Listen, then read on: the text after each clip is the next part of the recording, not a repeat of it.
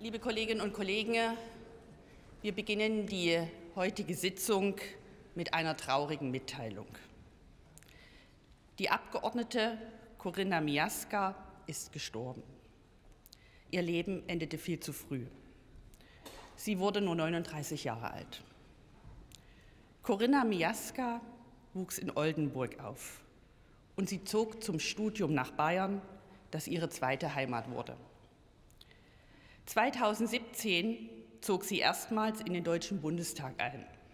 Sie engagierte sich zuletzt als stellvertretende Vorsitzende ihrer Fraktion und als Mitglied im Ausschuss für Angelegenheiten der Europäischen Union.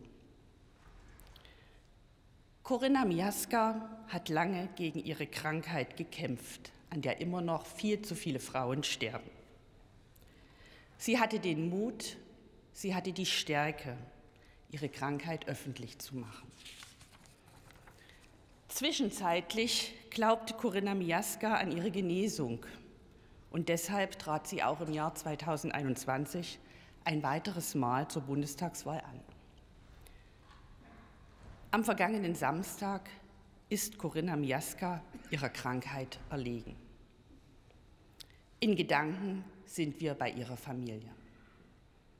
Ich bitte Sie, sich für eine Schweigeminute von Ihren Plätzen zu erheben.